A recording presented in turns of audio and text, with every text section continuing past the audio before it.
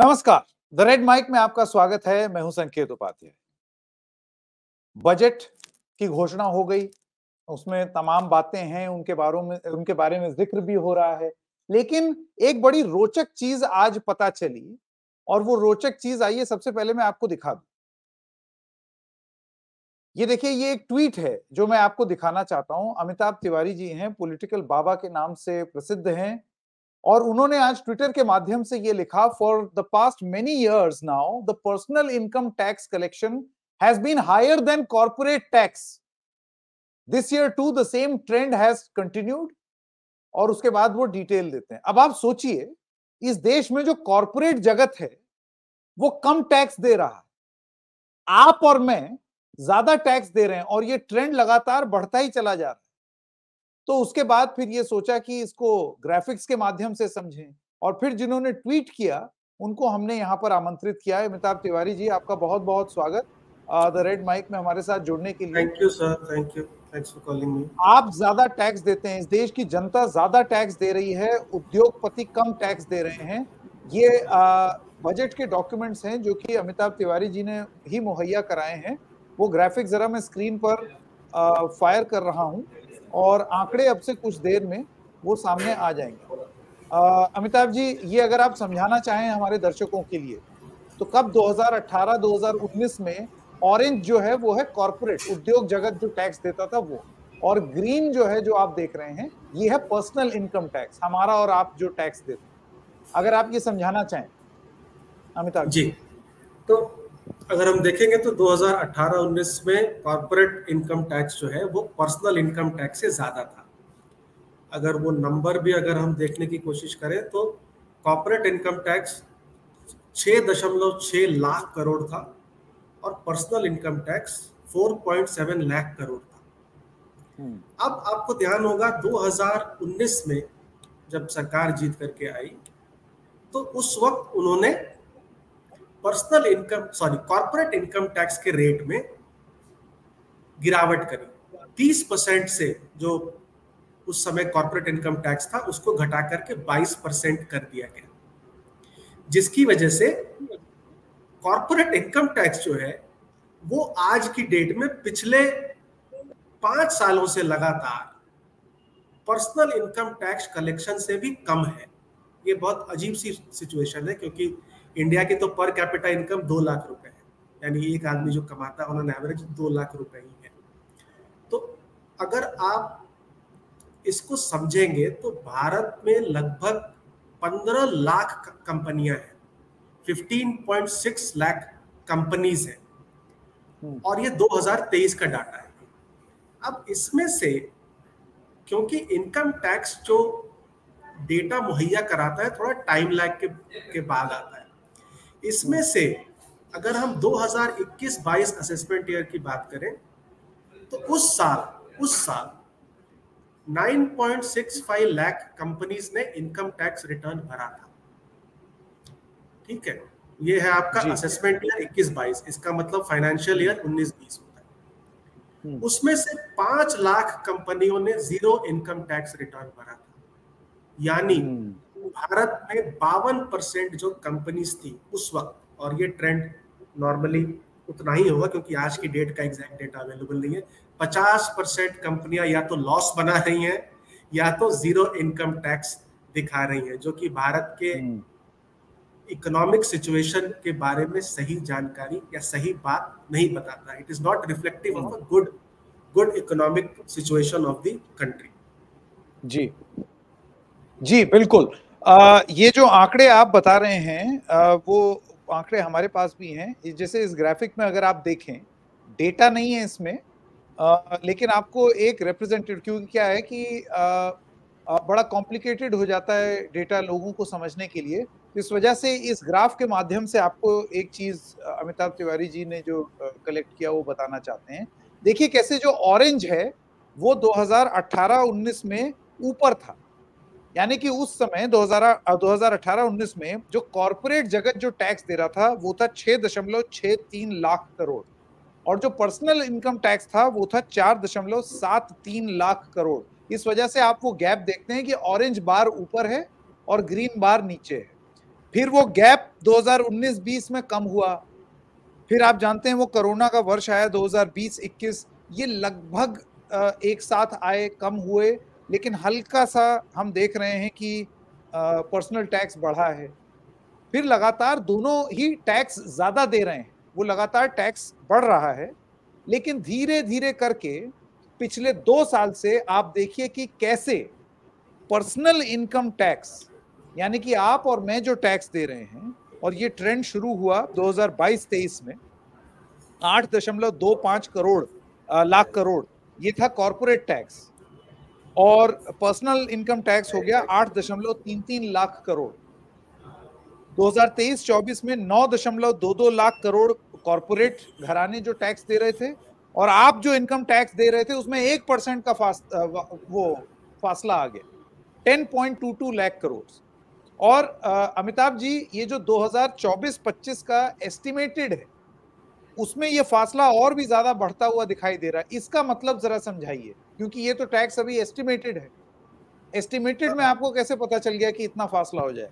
नहीं मतलब जो जो पीछे का ट्रेंड आ रहा है जो पुराने सालों का ट्रेंड आ रहा है उसके हिसाब से अगले साल भी पर्सनल इनकम टैक्स कलेक्शन जो है वो कॉर्पोरेट इनकम टैक्स कलेक्शन से ज़्यादा होने वाला है। जब देखिए जब ये तो गैप और ज़्यादा बढ़ रहा है अमिताभ जी। और ये गैप ज़्यादा बढ़ रहा है। हाँ। और ज़्यादा बढ़ रहा है। 2019-20 में जब टैक्स रेट कम किया गया था, उस समय बजट में एफएम का ये बयान था कि भारत सरकार को एक लाख चौवालीस हज़ार करोड़ का नुकसान होगा। इस टैक्स रिडक्शन की वजह से 30 परसेंट से जो 22 परसेंट हुआ। अब आपको ध्यान होगा कि 2020 मार्च में कोरोना हुआ, कोविड का आगमन हो गया।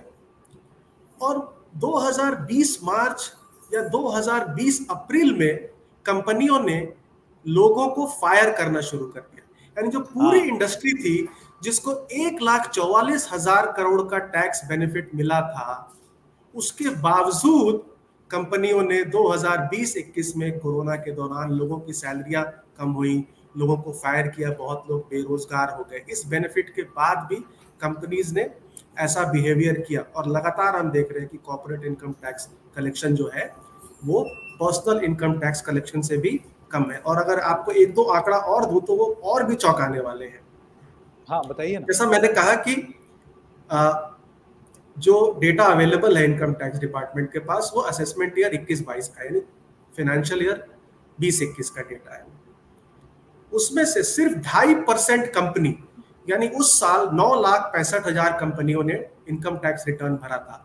उसकी हम्म। उसका ढाई परसेंट यानी लगभग पच्चीस हज़ार कंपनी जो है वो पूरे कॉरपोरेट टैक्स कलेक्शन का 94 परसेंट टैक्स अदा करते हैं। 94 परसेंट सिर्फ़ पच्चीस हज़ार कंपनियाँ भारत की 94 परसेंट कॉरपोरेट टैक्स जमा करती हैं। तो आप समझ सकते हैं 97 एंड हाफ़ परसेंट कंपनीज़ जो हैं, वो सिर्फ़ 6 परसेंट टैक्स जमा कर रही है।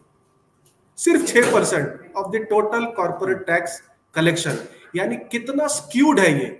और अगर हम टॉप हंड्रेड कंपनी की बात करें तो टॉप हंड्रेड कंपनी सैंतीस परसेंट ऑफ़ कॉर्पोरेट टैक्स मुहैया करा रही है। यानी भारत की जो क्रीम कंपनियाँ हैं उनकी इकोनॉमिक स्थिति ठीक है। जैसे ही हम ढाई परसेंट से नीचे टॉप कंपनियों से नीचे पहुँचते हैं उनकी इकोनॉमिक स्थिति आज के डेट में उतनी अच्छी नहीं तो ज़ाहिर सी बात है ये कौन सी कंपनी होंगी? ये कंपनी होंगी आपकी एमएसएमई उद्योग में जो कंपनियाँ हैं या और जो छोटी कंपनियाँ हैं। तो इसका मतलब ये कोई बहुत अच्छी पिक्चर तो है नहीं? बहुत अच्छी पिक्चर नहीं है बहुत अच्छी पिक्चर नहीं है क्योंकि बार बार हमको सिर्फ़ आपने ध्यान दिया होगा कि बार बार यह ज़िक्र होता है कि कुछ परसेंटेज इंडिविजुअल्स ही इनकम टैक्स रिटर्न भरते हैं। करेक्ट ये पर्सनल इनकम टैक्स के बारे में बहुत चर्चा है कि सिर्फ़ आठ करोड़ लोगों ने इनकम टैक्स भरा बाकी हाँ। लोगों ने भरा नहीं। बट ये हाँ। कभी कंपनियों के बारे में इसका एनालिसिस हुआ नहीं।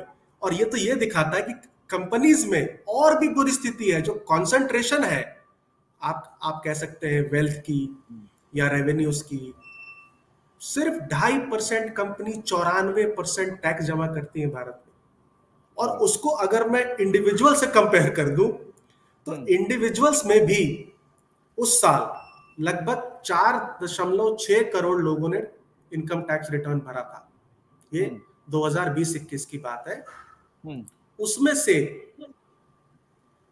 सॉरी लगभग छह करोड़ छत्तीस लाख लोगों ने भरा था। उसमें से हाँ। दो तिहाई लोगों ने ज़ीरो इनकम टैक्स रिटर्न भरा था। ज़ीरो इनकम टैक्स रिटर्न यानी जो आज का भी आंकड़ा 8.25 करोड़ का है इसका ब्रेकअप क्या है? इसमें से आधा से ज़्यादा लोग सिर्फ़ इनकम टैक्स रिटर्न एक एक एक जो हाँ, प्रक्रिया प्रक्रिया का पालन प्रक्रिया हाँ, हाँ लगभग आधे लोग इसमें से ज़ीरो इनकम टैक्स रिटर्न जो है वो भरते हैं लोन वोन लेने के लिए वो एक एक रिटर्न भर देते नहीं एक तो अमिताभ जी देखिए आप हम्म। आपने जो बोला देखिए दो चीज़ें हैं। एक कि ये this paints a very sorry picture for the corporate sector कि भाई ऐसा कैसा आपका कॉर्पोरेट सेक्टर बूम हुआ कि वो टैक्स ही नहीं दे रहे हैं तो फिर ये कौन कंपनियाँ हैं? कंपनी का फाइनेंशियल स्ट्रेस एक तो वो एस्पेक्ट हो गया। और दूसरा एस्पेक्ट ये हो गया कि इतनी रियायत मिल जाने के बाद भी जिसमें सरकार yes. ने एक लाख चौवालीस हज़ार करोड़ रुपए का अपने ऊपर एक वित्तीय भार ले लिया आपका कॉर्पोरेट टैक्स कम करके। मुझे याद है वो समय जब कॉर्पोरेट टैक्स कम हुआ था। ये कहा जा। रहा था कि भारत में कॉर्पोरेट टैक्स वैसे ही बहुत ज़्यादा था तो कम होना हम्म। ज़रूरी था। और उसके बावजूद छटनी और कटनी हुई अभी भी हम्म। लगातार जारी जी। तो यही है कॉर्पोरेट टैक्स क्यों क्यों कम किया गया था उस वक्त लॉजिकली कि हमारे यहाँ रेट ज़्यादा है कॉर्पोरेट टैक्स कम करने से एम्प्लॉयमेंट जनरेशन होगा, ठीक है? और भी और भी टैक्स बढ़ेगा, क्योंकि और भी कंपनियाँ कंप्लाई करेंगी। लेकिन हम देख रहे हैं कि ये दो तीन पैरामीटर्स थे, जिसकी वजह से कॉर्पोरेट रेट कम, अब कम किया गया था, वो आज फुलफिल नहीं हो रही है। एम्प्लॉयमेंट मतलब इन सारी कंपनियों ने लोगों को निकाला है कोविड के दौरान और टैक्स कलेक्शन भी बढ़ने की बजाय कम होता जा रहा है और ऐसा कम हो गया है कि अब पर्सनल इनकम टैक्स कलेक्शन जो है, वो कॉर्पोरेट इनकम टैक्स कलेक्शन से पिछले चार या पाँच सालों से भी ज़्यादा है। ऐसे में अमिताभ जी सरकारों को क्या करना चाहिए? मतलब इस इस इस आंकड़े को लेकर के कोई क्या बतौर इंडिविजुअल्स हम लोग इसको देख करके ये ज़रूर सोचेंगे बताओ इतने बड़े बड़े उद्योग वो हमसे कम टैक्स दे रहे हैं। और हम पर्सनल इनकम टैक्स ज़्यादा दे रहे हैं। एक तो नज़रिया ये हो गया। सरकार के पॉइंट ऑफ़ व्यू से इसको किस तरीके से देखना चाहिए? सरकार के सॉरी हाँ, बोलिए। नहीं नहीं वही मैं पूछ रहा था क्या दिक्कत की हम्म। बात है और अगर दिक्कत की बात है तो समाधान क्या है? जी तो एक तो ज़रूर ये डेटा बताता है कि कोविड के बाद की जो रिकवरी की बात है